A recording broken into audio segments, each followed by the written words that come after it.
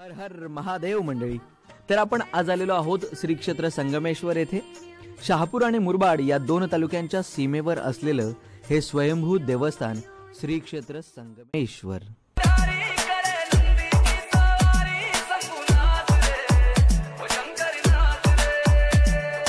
DJ.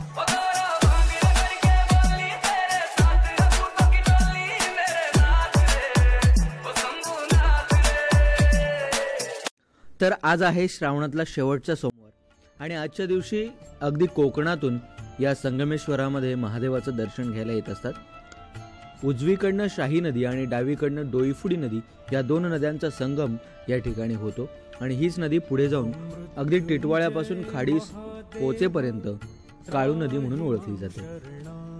चला आपण आता पाय धुवून घेऊया स्वच्छपणे. आणि मग महादेवाचं दर्शन घेऊयात. पण एक गोष्ट नेहमी जाणवते जे मी तुम्हाला सांगत येतो.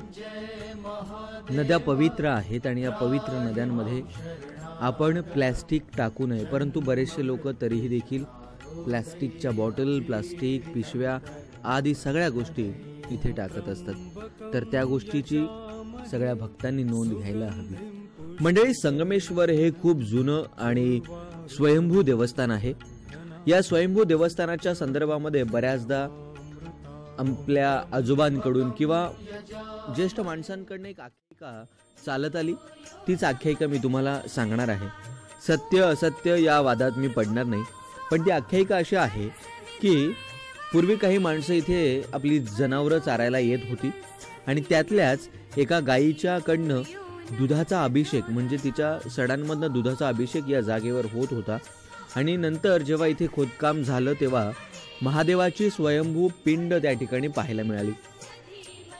तेच हे ठिकाण आहे. या ठिकाणी तिथून एक परंपरा सुरू झाली आणि मग महादेवाचे भक्त या ठिकाणी मंदिराच्या बांधकामाला यायला लागले आणि मंदिराचं बांधकाम सुरू झालं.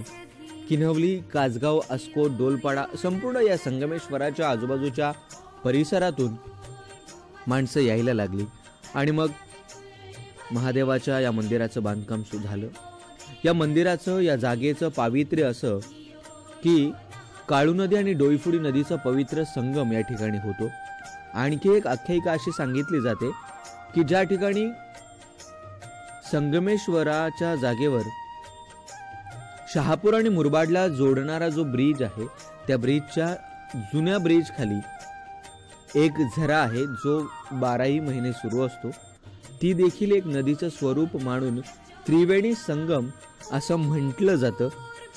सत्य असत्यता यामध्ये मी पडणार नाही. परंतु ही आख्यायिका आहे जी पूर्वापार चालत आलेली असते. त्याला तुम्ही ऐतिहासिक पुरावा किंवा दस्तऐवज म्हणून मानू नाही शकत. या महादेवाच्या पिंडीवर असंख्य भाविक भक्त महाशिवरात्रीच्या निमित्ताने श्रावणातल्या सोमवारच्या निमित्ताने आपलं दुःख आपलं साकडं या महादेवाच्या पिंडीवर मांडत असतात. आणि श्रद्धा असणाऱ्या भक्तांना हा महादेव प्रसन्न होतो.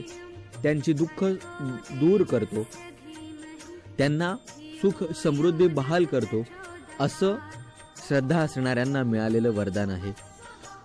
हा जयघोष हा अभिषेक तुम्ही देखील साक्षात अनुभवा.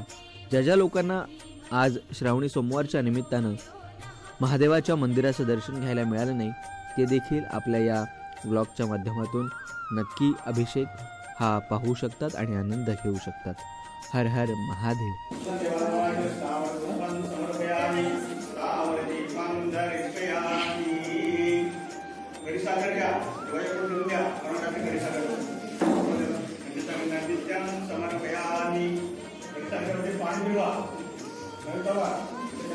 Thank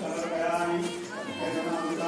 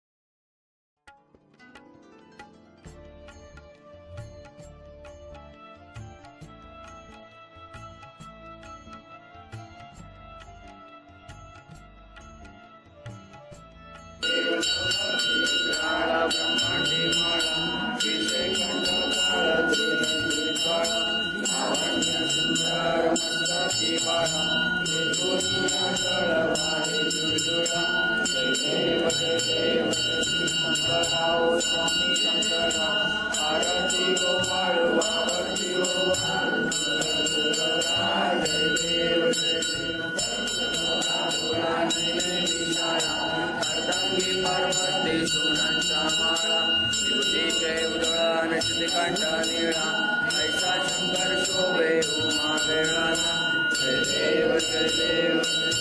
राव स्वामी शंकरा आरती गोपाळो आरती गोपाळो गौरा जय देव जय देव. सागर मंथन केले. रामाची अवचित सापडले प्राशन